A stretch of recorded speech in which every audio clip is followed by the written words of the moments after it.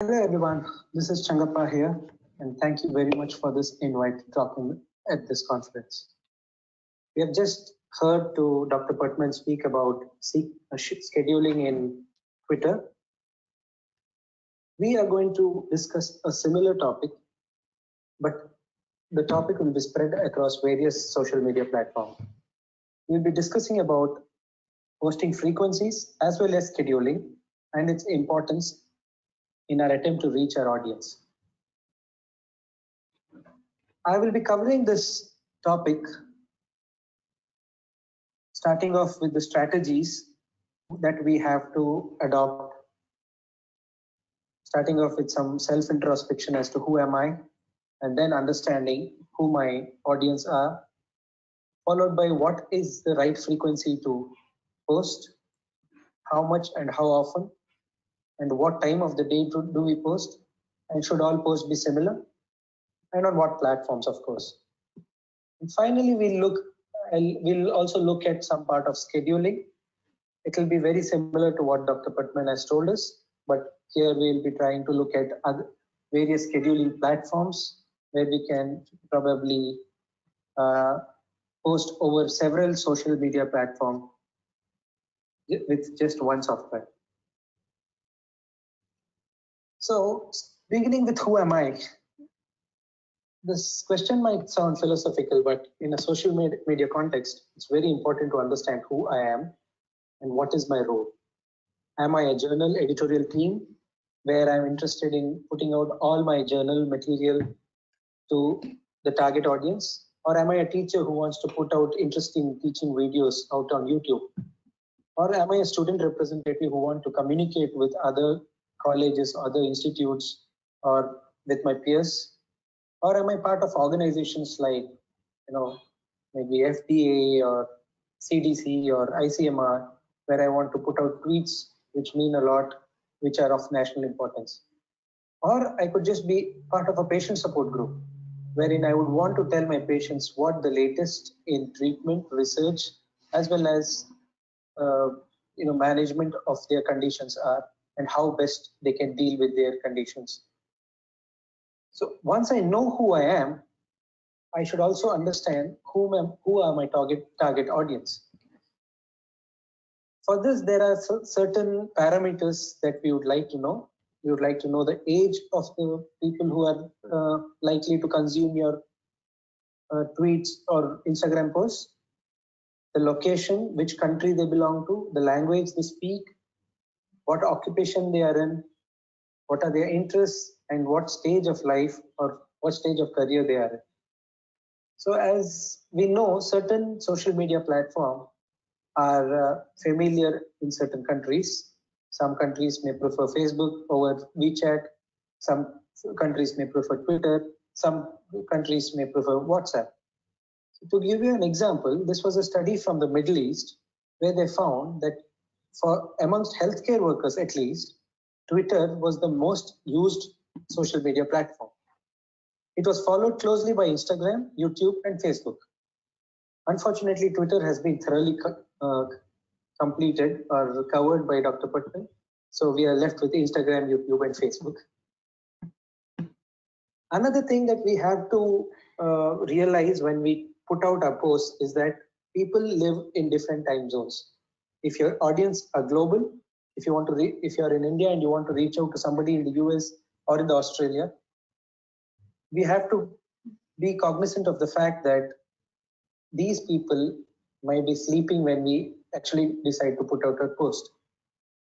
So we have to understand where our audience are located at this point of time and is it the right time to tweet.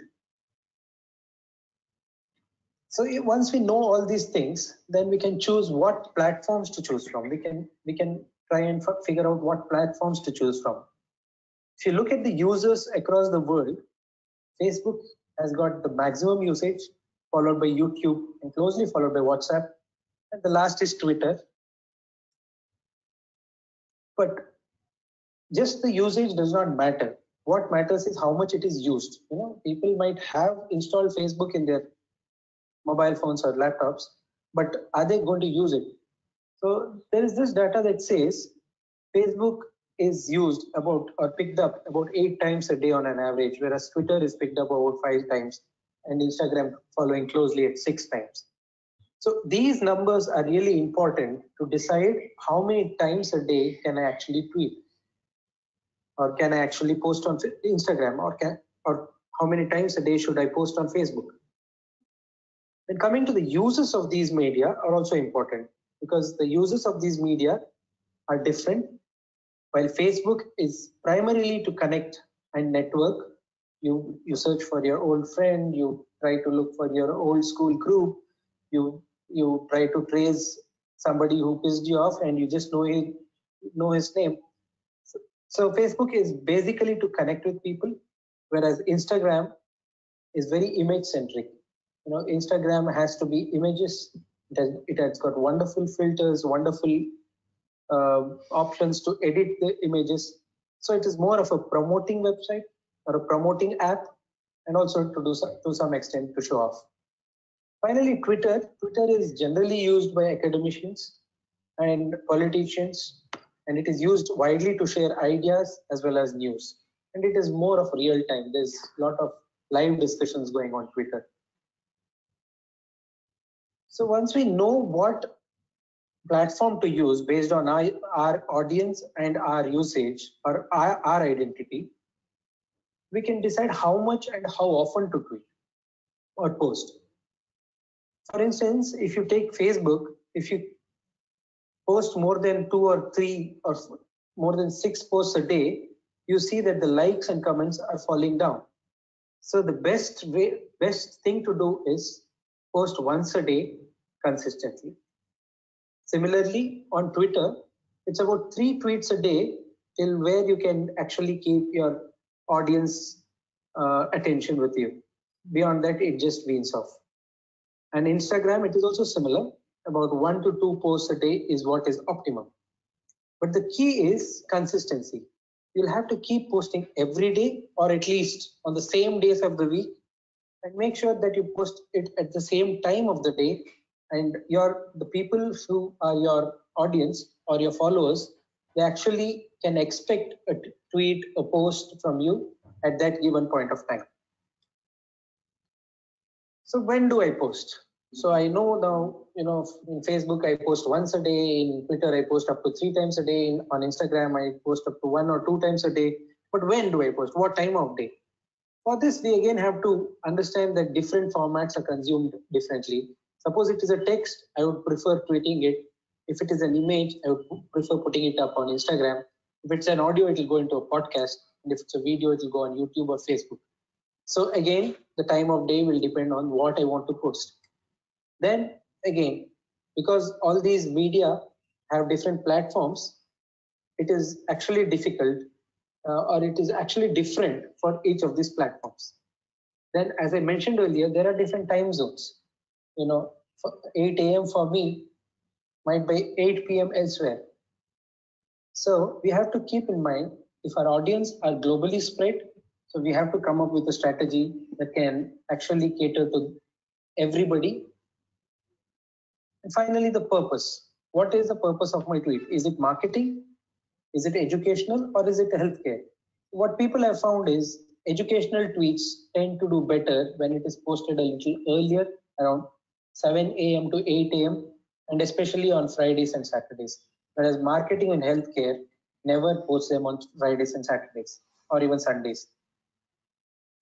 So the best time to post on YouTube, because you know YouTube posts long videos, maybe a teaching video.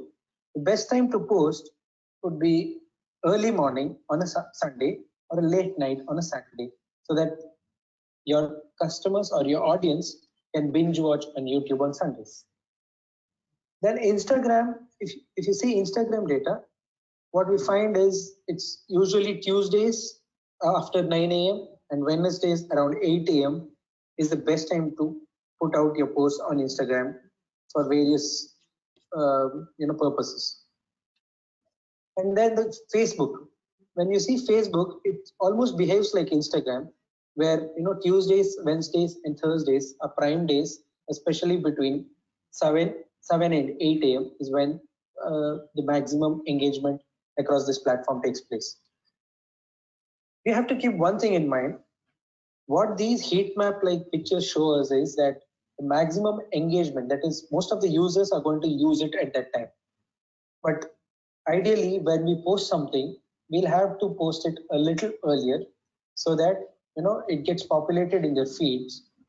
And then when they scroll yours would be the third or fourth feed instead of the first feed. We always feel that the first feed is not the best feed. We we keep on scrolling and it's the second or third feed that usually catches our attention.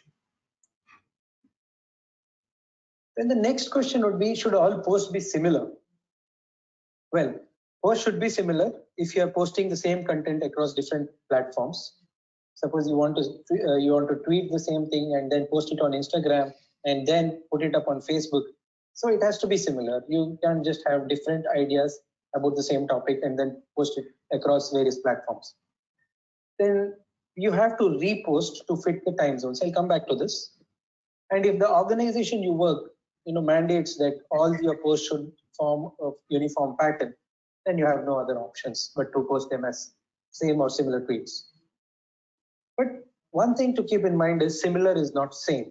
You know, they could convey the same information, they could use the same infographics, but you can still change the words, you can still play around with the links, you can still play around with the way it is presented. So we can change some content of the material. For instance, I put up a graph on the image of a graph on uh, Instagram and I put the URL in Twitter. And then I put a video abstract of the same journal article on Facebook. So I'm essentially posting the same material across three platforms in three different ways. So this, this is actually a better way to post things. We can also use stories, reels, and vanishing tweets. That is, you know, you could post a story of your older tweet or an older Instagram post and link it back to the older post. You know, that will rekindle uh, interest amongst your audience. But all this managing multiple platforms and juggling between uh, various formats, it actually seems a little complex. To simplify this, people have found so many uh, methods, which we will be talking during scheduling. Before that, what we should understand is what should be the content of a post? You know, should we just, if you are a journal editor, should we just keep posting all the articles that the journal publishes? No. There is a rule of third the rule of third states that one third of the post you promote whatever you want to do. You know, just focus on the main thing that is probably a journal article. The other third should be ideas from influencers from the field. Suppose I'm a rheumatologist and I, I am a social media editor of a rheumatology journal. I put out you know, three out of 10 tweets or three out of 10 posts on the article that is of interest. And then uh, the other three of the 10, I will be retweeting some experts or I will be pulling some experts into a discussion or I will be posting some findings that are already being discussed by experts.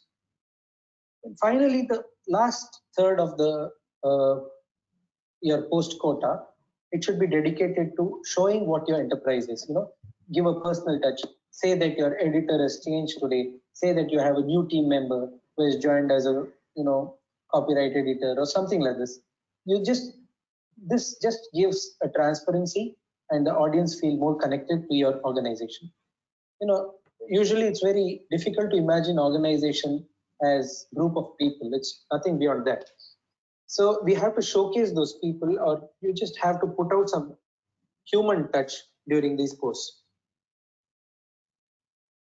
so as we were telling since it is complex to juggle between all these platforms Facebook and Instagram, since it is owned by Facebook, has come out with the Creator Studio for Facebook.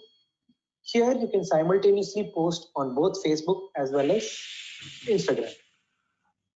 So what you do, you go to the Creator Studio website, you log in using your Facebook page login credentials, and then you either choose Facebook or Instagram. Once you choose them, you can start creating a post. Suppose I want to create a post on Instagram, I'll create a post I'll whatever, add whatever content I want to post and then I will schedule it. I will schedule it at the right time for the right time zone. Here the advantage of such a scheduling platform is that you can have multiple people working on the same platform and you can assign various roles to these people. So what these various roles will mean that mean is that uh, each one of them will have limited access to the things that they can do. Suppose in case if an admin can do everything a data analytic person a data analyst can only view insights. He cannot edit he cannot change any tweets he cannot do anything. So this also adds a layer of security to your data. So, but it is a creator studio by Facebook. So Twitter is left out. Twitter is not part of Facebook. So we'll need a Facebook page to access it.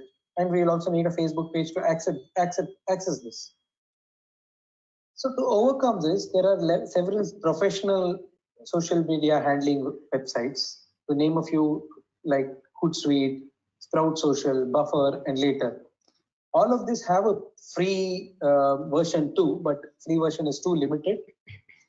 Uh, some of the features of these websites are that you know it allows you to juggle between 1 to 50 platforms and you can assign up to 10 users for the same uh, for the uh, for the same website or for the same uh, credentials and you can post from anywhere between three per day to unlimited number of posts across various platforms.